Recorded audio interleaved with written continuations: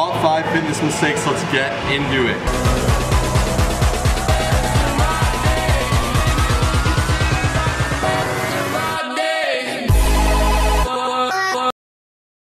Okay, number one is cheating yourself, and this is something I think everyone is guilty of, especially at the start.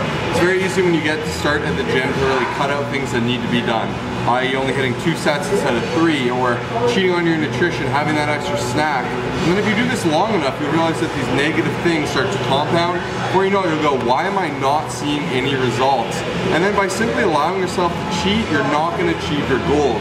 I really recommend sticking to your regimen, sticking to your program, your nutrition, and the psychology of your regimen because that's going to produce consistent and efficient results over the person who kind of deviates from what they need to do. You guys need to understand if you want to win, you got to do what it takes to win and I think that is the mentality that you need to come into the fitness game knowing.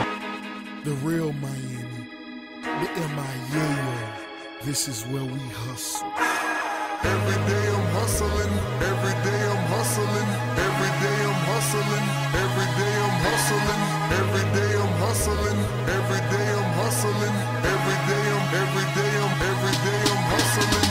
Before we jump into number two, please smash that like button. You guys know we love that like love. If you like this video, let us know you liked it by liking it. It's as simple as that. Drop a comment, especially if you like these kinds of videos where we kind of give you that inside guru knowledge from your, uh, your favorite fitness coaches, right?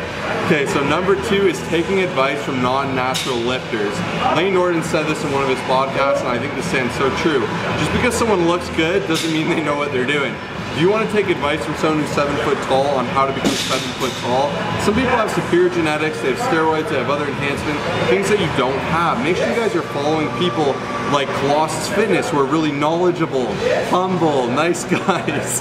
because people that are like you, that are natural lifters, are gonna have the same struggles, the same results, and you're gonna be able to follow that advice over someone who's roided up and who's gonna have 400 grams of protein, and that is not sustainable and realistic for a natural lifter.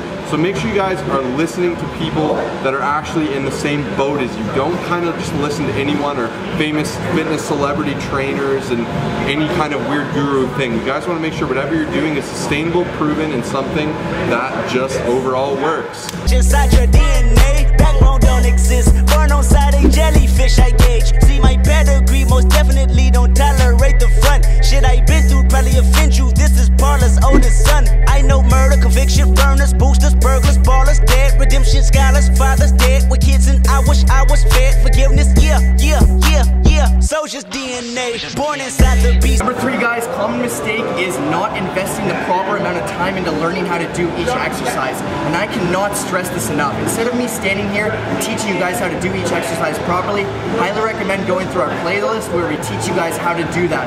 I see so many people, and I stress this so much because everyone goes into the gym as a beginner and they do exercises improperly, they take it, take advice from people who don't know how to do it, they just perform a deadlift improperly and they do that over every single workout, they're doing a thousand reps over time, and that's a thousand improper reps, and it's gonna take so long to learn it properly. So if you're a beginner, learn it off the bat properly, and you will thank us later. Number four slash 3.5, I think that's how you single it with your hands. I want you guys to pop down 3.5 in the comments. Comment what you think Whatever you think is the number one tip out of either this video or out of your own experience to help other people out. Comments are a cool place to hang out. I love reading them, so drop that comment, show that love. Fact, that you guys made it to here and you're loving this content, if you drop a comment, I'm gonna pick one person to win a Rising Legends t-shirt so you can look swagged up like us, because that's how we roll. But number four, guys, it's nice and easy. It's don't start as an expert when you're a beginner. If you're a beginner, know that you are indeed a beginner. I know too many people want to jump into this crazy, unsustainable kind of mantra of fitness and they just want to jump in and be like the pros, you know? They want to deadlift, like Kyle said, that 315 and then with the wrong form, you're going to get injuries. You push yourself too hard, you're also going to get injured, you're going to get burnt out. And these are things that will kill you early on. This is my number one fitness mistake. Even for someone like myself, I can't go and do Dan Green's fitness regimen. I'm going to die. I haven't accumulated myself that much powerlifting volume. And that's something people really can't seem to understand. So make sure that you guys are starting at that nice basic point, work up from that, develop something sustainable, and push yourself accordingly over time.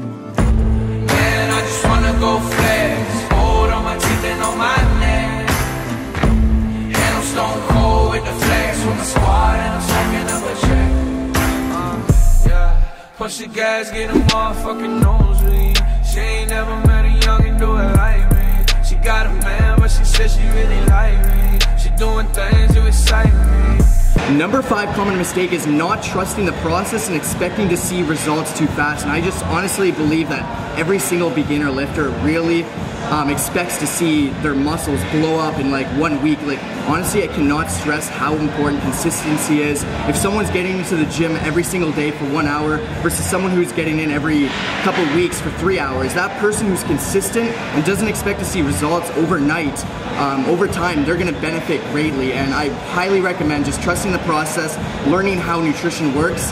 And uh, yeah, guys, if you guys wanna see a part two, make sure to like this, subscribe to us if you haven't already, and we'll see you in the next video. Remember to comment down below your number one common mistake.